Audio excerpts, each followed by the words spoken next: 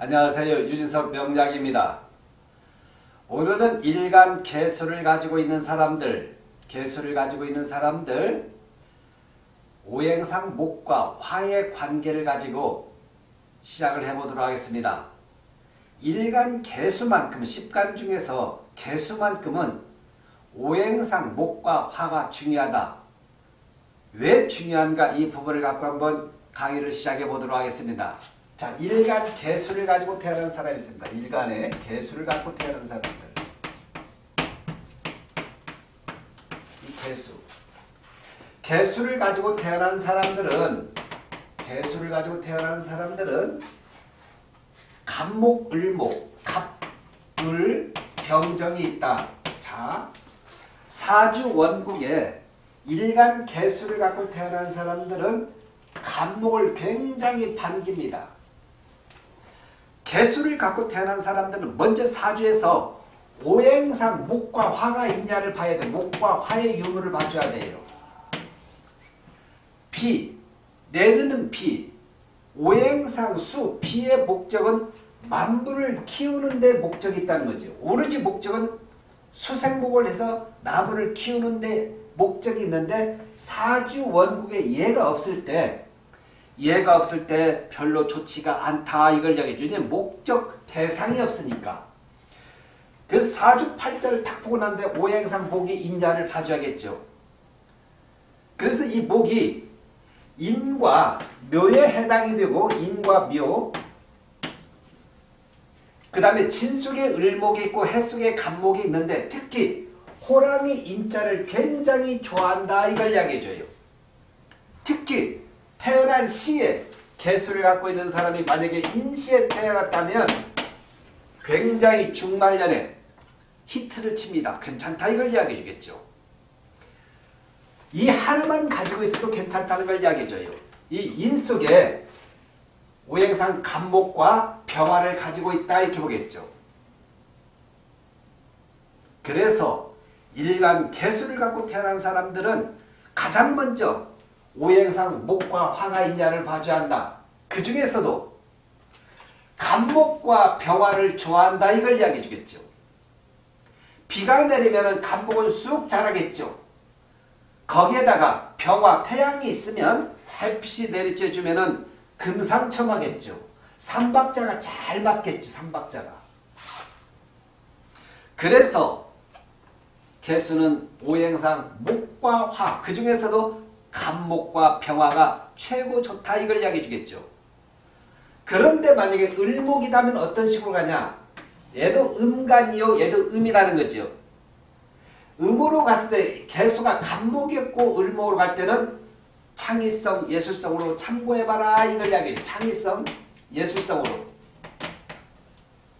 그래서 개수가 을목이 있을 때, 을목이 용실 때는 이런 분야로서 뛰어난 역량을 발휘한다. 그러나 근본적으로는 간목이 있을 때 통 크고 여러 가지 부분에서 능력 발휘를 할 수 있기 때문에 간목을 원한다 이걸 이야기해 주겠죠. 그 다음에 병화가 있을 때 개수는 병화가 있을 때 가장 좋다 이걸 이야기해 줍니다. 대운에서 개수 일간을 갖고 있는 사람이 병화가 들어올 때는 여러 가지 우여곡절 어려운 문제를 해결하게 됩니다. 단 사주 원국에 신금이 없어야 한다 이걸 이야기했죠. 신금이 있을 때는 병화를 잡기 때문에 신금만 없다면 병화가 들어가서 이 개수에게는 중요한 역할을 합니다. 그런데 정화는 정화는 개수하고 정은 서로가 충을 한다는 걸 이야기죠. 충을 합니다. 충, 충. 정계, 개정, 정계, 개정, 상충을 한다 이렇게 볼 수 있어요. 그래서 이 부분은 정화하고는 같은 환대도 싫어한다 이걸 이야기합니다. 자 오늘 제가 이야기하고자 하는 사주를 딱 봤을 때 얘는 그러면 오행상 금도 있고 토도 있는데 어떻게 예를 들면 목과 화만 있으면 좋느냐 일단 목과 화만 이렇게 간목과 병화만 있으면 개수 일간은 기본적으로 자기 역량을 발휘하고 살 수, 이러, 살아가고 있습니다. 이렇게.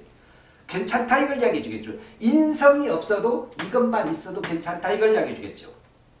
그래서 개수는 오행상 금이 없어도 인성이 없어도 목과 화만 있으면은 머리 좋고 총명하고 자기 방향으로 잘 간다 이렇게 설명할 수가 있습니다. 사주 하나를 풀어보겠습니다. 자 신축생이 있습니다. 신축생. 자 신축생 그 다음에 개사 개사 그 다음에 개해 갑인입니다. 개해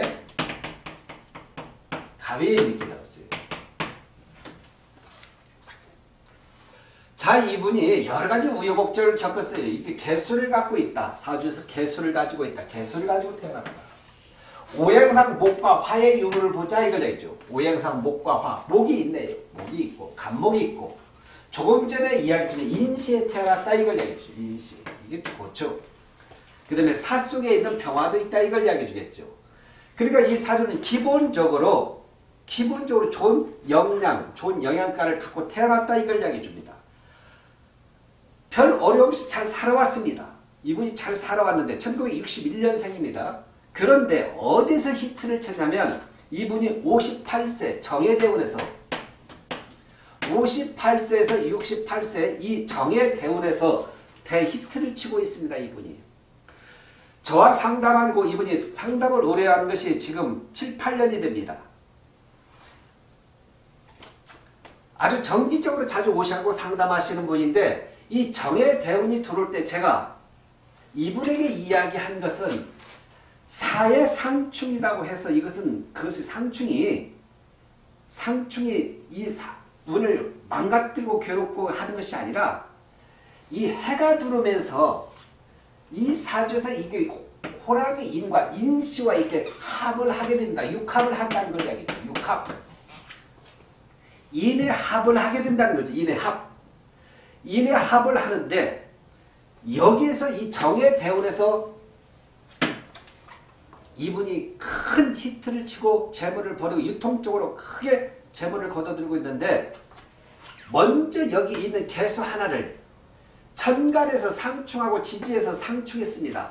간충지충이라 하는데 이것은 우여곡절을 이야기합니다. 우여, 여러 가지 우여곡절을 겪게 된다. 우여곡절을 겪게 되는데 문제는 뭐냐면 이것이 실패로 가는 우여곡절이냐 아니다. 치고 받아라.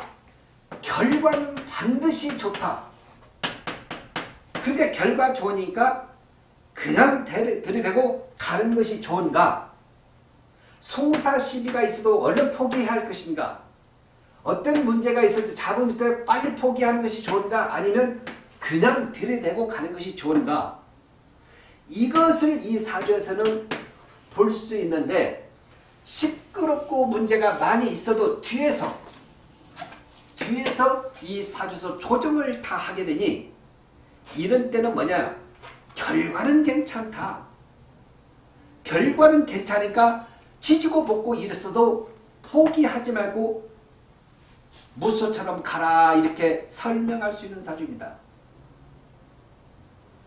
우리가 시비가 일어나고 문제가 생기고 난 다음에 결과가 결국은 좋지 않은 경우도 있고 그래서 그렇게 나올 때는 얼른 빨리 포기하고 얼른 수습하라 이야기하는 것이고 이렇게 있을 때는 어떤 문제가 있어도 끝까지 싸워라. 결국은 승자는 당신 쪽이다 이렇게 설명할 수 있는 것이죠.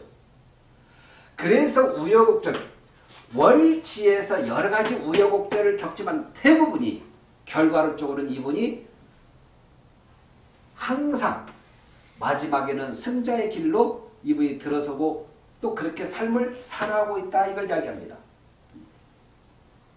제가 이야기하는 것은 이 사주가 조금 전에 이야기한 개수는 개수는 오행상 목, 간목이 있냐를 봐주고 병화의 유무를 봐주라. 그런데 하나만 있어 이인 속에는 무병갑이라 해서 병화와 간목이 이 안에 있고 태어난 시에서 태어난 시에서 이렇게 있을 경우는 인이 이 자리 네 자리 중에서 가장 좋은 자리가 바로 개수에게는 인시다 얘기해요. 그래서 일간 개수를 갖고 있는 사람이 태어난 시가 인시다면 그 사람은 결코 힘들지 않다. 중년 말년은 하늘이 두 조각 나도 결국은 자기의 목적을 이루고 성공할 수 있다 이렇게 설명할 수가 있습니다. 먼저 개수를 갖고 있으면 이 간목과 병화의 유무를 봐주라. 그 다음에 모행상 목과 화의 가장 중요한데 목적이 생기니까 목적이 생기니까 기회를 주니까 언제든지 찬스가 오면 성공시킬 수 있는 확률이 굉장히 높은 구조를 가지고 있다 이걸 이야기해 주겠어요. 그래서 이렇게 있을 때는 괜찮다 밀어줄 만 하다 이걸 이야기해 주죠. 그래서 이런 조건을 갖춘 사주다 이렇게 설명할 수 있기 때문에 혹시 일간 개수를 갖고 태어난 사람을 볼 때 먼저 사주에서 오행상 목화를 보자. 그 중에서 간목과 병화의 유무를 보자. 이것이 있는데 사주 원국에서 깨질 때는 좋지가 않다. 근데 여기는 지금 깨지지 않았다 이걸 이야기해 주겠죠. 거기다가 육합이 들어오면서 육합이 들어오면서 사주에서 더욱더 힘을 받고 있다 이렇게 볼 수 있겠죠. 그러면 이렇게 있을 때는 앞부분에서 태어난 월지에서 상충이 있어도 순서대로 상충을 겪어도 마지막에서 마무리가 잘 되니까 이런 경우는 상담에서 어떤 중요한 물을 할까요 말까요? 이런 걸 결정하고 어떻게 치고 나갈까요? 사업을 해도 좋을까요? 확정해도 좋을까요? 할 때 이런 경우는 무조건 밀어버리는 게 괜찮습니다. 언제 성공할래? 이렇게 찬스 오는 거 이것마저도 피해버리면 어느 시기에 세상 어느 시기에 성공할 수 있느냐? 들이대라. 무조건 치고 나가라. 이렇게 설명하는 것이 정답이다 이렇게 이야기할 수 있습니다. 시끄럽다 해도 재성이 무너졌다고 해서 돈이 무너지는 것이 아니라 인 속에는 평화가 그대로 그대로 인 속에는 평화가 잘 직장자리, 사업장자리에서 보존되고 파괴가 되지 않았기 때문에 결국은 괜찮으니까 중간에서 포기하지 말아라 이렇게 이야기할 수 있는 사주입니다. 월치가 상충을 당해도 월치가 상충을 당해도 일에서 태어난 나에서 아니 태어난 시에서 태어난 시에서 개수는 자기 목적물이 있을 때는 크게 성공한다. 특히 여기에 합이 들을 때 만약에 5대5이 들을 때는 더욱더 큰 히트를 칠 수가 있다. 그 다음 해마저도 해도 이 사주는 간목은 해에게 장생에 해당이 되고 정화 정해에서 정화가 여기는 천을균에 해당이 되면서 가지고 들으니까 이때는 사업장에서 경사가 일어난다 이렇게 설명할 수가 있습니다. 그래서 괜찮다. 그런데 이분이 정말 승승장구하고 있습니다. 이분이 승승장구 있습니다. 이 대원에서 정예대원에서 정말 승승장구하고 있고 여러 가지 부딪히고 어려움이 있지만 다 그런 부분을 이렇게 정보를 주니까 이분에게는 이미 부딪히고 어려움이 오는 것이 어려움이 아니고 이분은 오히려 간단하게 극복해야 할 그런 상으로 알고 있기 때문에 오히려 반전되고 이미 정신적으로 멘탈적으로 강하게 강하게 주입되어 있기 때문에 오히려 힘든 것이더라도 반전해서 나가는 그런 능력, 힘을 발휘하고 있는 사주다. 그래서 이런 부분은 명리, 역학하는 사람들이 이런 사주는 힘을 실어줄 필요가 있다. 강력하게 힘을 실어줄 필요가 있다. 그러면 이런 분들은 그 이야기를 듣고 밖에 나가서 엄청난 에너지를 발휘하게 됩니다. 그래서 성공할 수밖에 없다.